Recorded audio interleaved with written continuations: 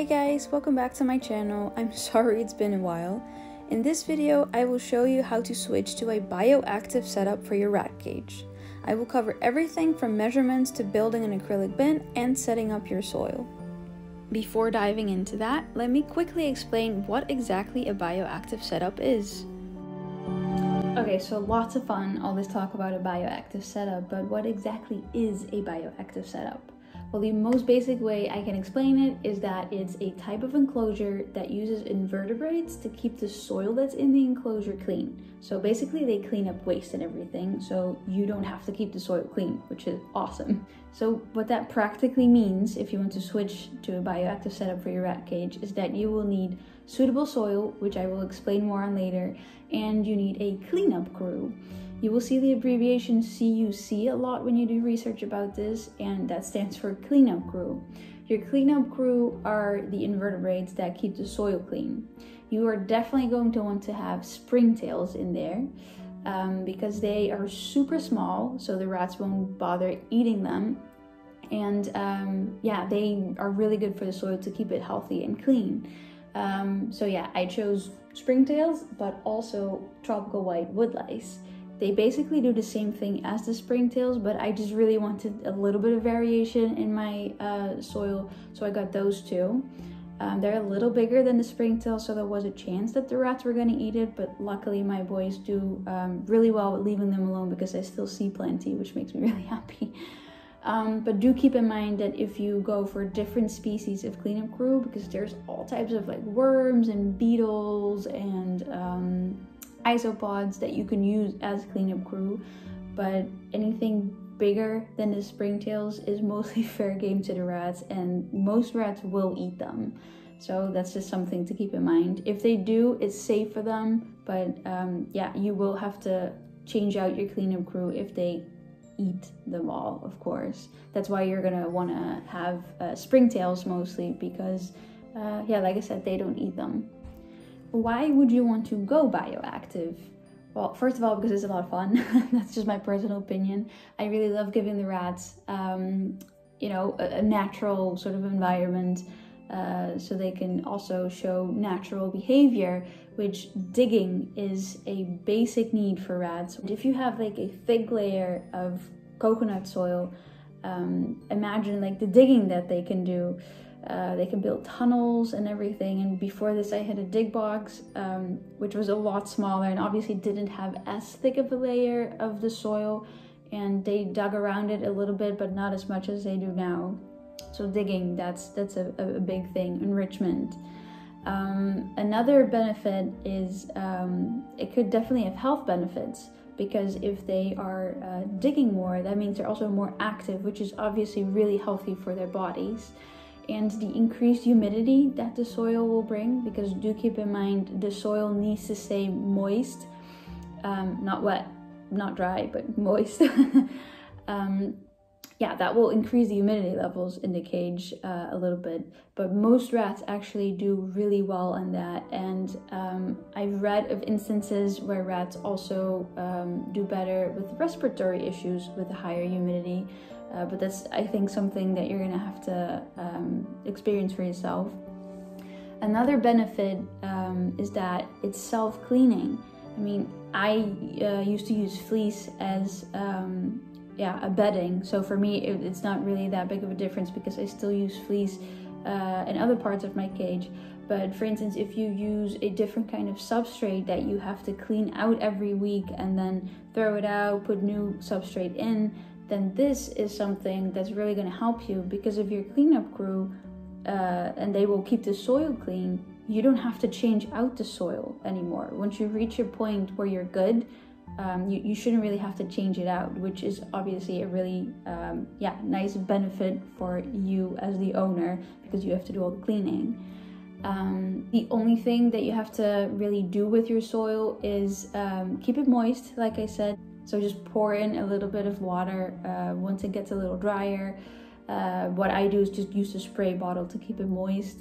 And if your rats don't dig a whole lot or don't dig tunnels, you also have to make sure that every once in a while you turn the soil over. But that's basically all you need to do, which I think is great. Another benefit of going bioactive is that once it's set up, it's pretty cost efficient. Think about it. I mean, if you are scooping out substrate every week and putting new in, that's obviously going to add going bioactive, obviously you're going to have costs. Switching because you need to have a bin if you don't already have uh, a deep enough bin to put the soil in. You need to buy your soil, you need to buy your cleanup crew. You might want to get extra things like um, branches and whatnot to really, you know, tie it all in. Um, but once those costs are, you know, made, then that that's it you might have to like top off your cleanup crew uh, once in a while or add a brick of um, coconut soil but that's it. So in the longer run i think it's uh, it's more cost efficient which who doesn't want that? The last thing i want to talk about is how do i switch to a bioactive setup cage? Well obviously i will explain more in uh, the rest of my video but basically, all you need is um, a bin to keep your soil in because bars obviously aren't going to work. Uh, you need your soil, you need your cleanup crew, and that's the super basic gist of it.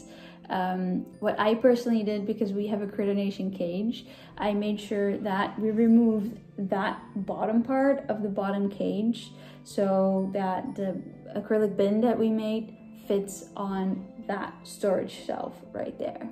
So I'm going to explain in the rest of the video how exactly you go about making a bin like that and how to set up your um, your soil. Like I said, I wanted to keep this kind of basic because I have um, more information on my Instagram page. I made a highlight uh, with a lot of uh, commonly asked bioactive questions that you can check out. And what I really recommend if you would like to do this is check out the Facebook group naturalistic and bioactive rat setups. That is where I got most of my information because there's not a ton of information out there yet, but that group is is amazing. So if you want to switch, um, definitely go check that out. So let's move on to the rest of the video where I explain how you go about doing this. Okay, so the very first thing you need to do is take measurements for your acrylic panels. As you can see, my bin is already in because I forgot to film this part before. Always take the inside measurements of your cage because your bin will have to fit inside of the frame. Measure your long side from one end to the other and then measure the short side of your cage the same way. Up until where my finger is is where you need to measure. This here lines up with the actual inside of the cage. As you can see I measured the frame because it's easier to measure and it's the same size. After triple checking my measurements, I made a sketch of the bin with some simple calculations so I knew what size panels to order. Okay, let me walk you through this. So you want a bin with a bottom panel, a front panel, a back panel, and two side panels. I took my measurements keeping in mind that I want my four panels to rest on top of my bottom panel. Under the sketch of the bin are the inside cage measurements. The bottom panel, A, measures 883 millimeters in length, so this is the long side of the cage, like the front, and it measures 578 millimeters in width, which is the short side of your cage. The length of the front and back panels, B, is the same as the long side of your bottom panel, A, which was 883 millimeters. The width of these panels will be how high your bin will be, so you don't have to measure this as this is a personal choice. I chose 40 centimeters. The length of the side panels, C, is the same as the short side of your bottom panel, A, which was 578 millimeters. The width will be the same as the front and back panels, B, since this is again the height of the bin, so in my case, 400 millimeters. When assembling the bin, you want your side panels to perfectly fit in between your front and back panels. To achieve this, you need to take the thickness of the front and back panels in consideration. I went with 4mm thick acrylic panels and wouldn't recommend any thinner than this. All you do is subtract 8mm of the total length of your side panels, C. That covers the 4mm thickness of both the front and back panels. Keep in mind that if you choose a different thickness, you subtract a different number than 8. Say you went with 5mm thick panels, you need to subtract 2 times 5 of the total length of your side panels. The last thing you need to do is subtract 5 millimeters of the total width and length measurements. The bin needs to comfortably fit in your cage, so it needs to be a little bit smaller than the frame, which is what you measured. In this case, that's 883 minus 5 is 878 millimeters. 578 minus 5 is 573 millimeters, and 570 minus 5 is 565 millimeters for your side panels. To sum it up, that means you need to order one piece of 878 by 573 millimeters. This will be your bottom panel. Two pieces of 878 by 400 millimeters for your front and back panels, and two pieces of 565 by 400 millimeters for your side panels. Keep in mind that these are for a critter cage. Feel free to copy this for your own critter cage. However, I do recommend measuring the inside measurements yourself since apparently there can be a small difference in even the same cages. The methods I use obviously apply to any size cage. Now we finally crunched all the numbers, you are ready to order your acrylic panels. These are my panels with the plastic still on. The only other things you need is some painter's tape and either a suitable sealant or glue or a heavy duty and water resistant tape. I personally wanted to go with a glue because it looks nicer in my opinion, but I couldn't find one that was both suitable for the material as well as safe for the rats. So in the end I just used this which is a extra power and water resistant transparent tape and that did the job perfectly fine in the end. Now you have everything ready to go, you can start making your bin. Doing this with two people definitely makes it a lot easier, so my dad and I made a fun project out of it. The first thing you want to do is clean the panels from any dirt or grease so the tape will stick properly. We used some ordinary dish soap for this. Now you can start putting your bin together. Use some regular painter's tape to hold the panels in place temporarily. Start with the long side so you can neatly fit a shorter side against it later. The shorter sides fit perfectly in between the front and back panels, remember? That's why it's easier to start with the long side first. Don't forget to place all panels on top of the bottom one if that's also the way that you took your measurements, which is what I did. Repeat this until your whole bin is put together.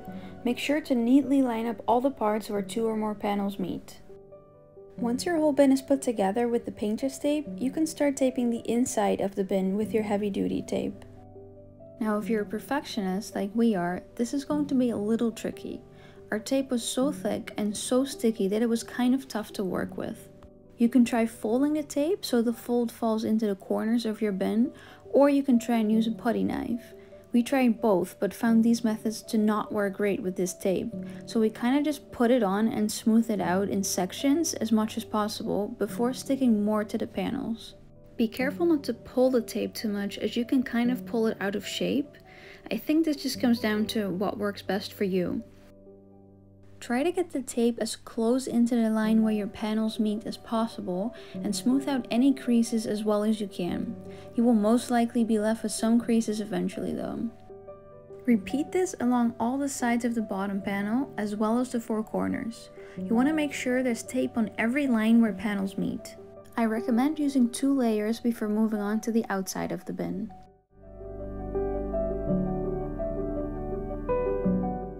Once you're done with the inside, you can start taping the outside of the bin, which is a lot easier.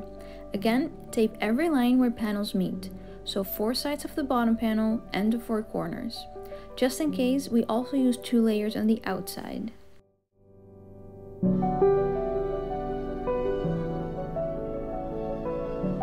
We left a little bit of extra tape along the edges of the corners for extra strength. Just cut the tape down the middle and fold it down. Now that both the in and outside of the bin have two layers of tape, it's time to file down the top edges so tiny rat paws can safely grab them. This way you'll make sure the quite sharp edges become nice and smooth. And finally, we tested the bin with a little bit of water to make sure it's not leaking. That looks good to me. Now your bin is finished, let's move on to the soil and cleanup crew. I highly recommend using coco soil for animals, which is made from coconut husk and free from any harmful additives and chemicals. I personally use the plantation soil from Exo Terra. It's a little more fibrous than other brands of coco soil I've tried, which is great for adding some texture to the soil. These come in compact bricks that you simply add water to for them to expand. For this size bin, I ended up using 14 of these bricks. To add even more texture, I also added 3 of these, Exoterra's coco husk bricks. They're made from the same material, but they're bigger chunks. Moving on to the cleanup crew. As I mentioned earlier, you'll definitely want springtails. They're tiny, the rats won't eat them, and they do a great job at keeping your soil clean. And no, these guys will not end up wandering around your house. I started out with two small containers of springtails, but quickly added one more and then another two because I found some mold on one of my branches. This simply meant that there were not enough springtails to keep everything clean. I do use a lot of natural materials in my soil, so if you don't do that, you might need less. Besides springtails, my only other cleanup crew are tropical white wood lice. They're a dwarf isopod that will be around 3 to 4 millimeters max. Your rats might eat them. Mine don't seem to, but that's why I didn't get any other bigger species. I ended up using 3 small containers of these. To be well prepared, I ordered my cleanup crew a little in advance. I just prepared one brick of soil and left them in a small bin with a lid that had some air holes in. Speaking of preparation, think about what else you might want to use to complete your new setup. This can be anything you want. I just had a birthday, so that's why I decided to get the boys some new things. If possible, it also helps to prepare some of the bricks of soil in advance. Preparing your soil is easy, just follow the instructions. You basically just add water, we did do a little less than recommended, and wait for the bricks to expand. I came back every now and then to just check and stir it up a little bit. While you're waiting on your soil, you have the perfect opportunity to clean out your cage and disassemble it. In case of a Critter Nation, it can be disassembled until you are left with just the storage part. Your bin will go right inside the frame, resting on the bottom rack. We didn't put any new wheels on for the added weight, but had I thought of it in advance, I might have done that. Our cage is still fine with the extra weight, but making extra sure can't hurt. Before adding the soil, I cleaned the bin with some baby water wipes and dried it off with regular paper towels. I gotta say, after all the prep work, that is one good looking bin. As you can see, the bin fits really nicely and not too snug in the frame, just like we wanted. Now with the bin in the frame, it's finally time to add our soil. I don't remember how many bricks this was, but I wanted to have a nice layer down before adding in my cleanup crew. At this point, we also put the bottom cage back together. With the bottom layer of the soil down, I'm adding my cleanup crew as a sort of middle layer.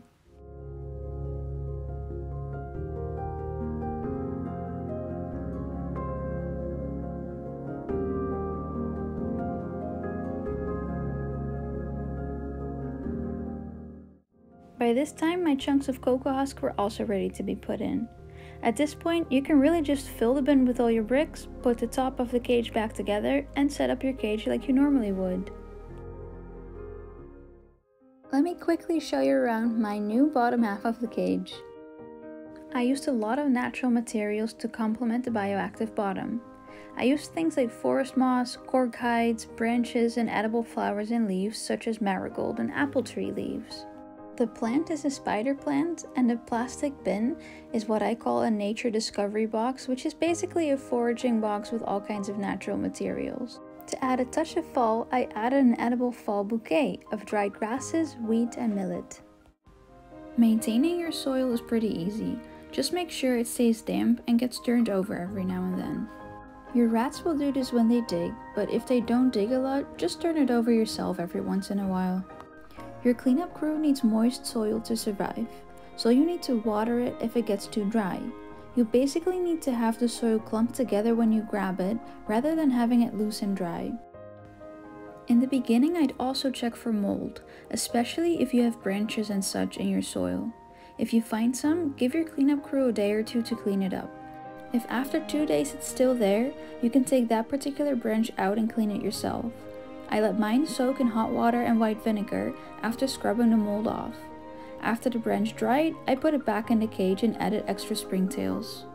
If you keep up with your maintenance, you should be able to enjoy your soil for a long time. And that's it! Now you know exactly how to turn your rat cage into a bioactive setup.